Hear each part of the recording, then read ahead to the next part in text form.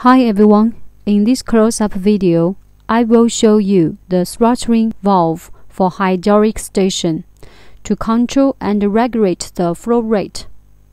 For more information about this throttling valve, please leave a comment below or contact with us by email. See you next video.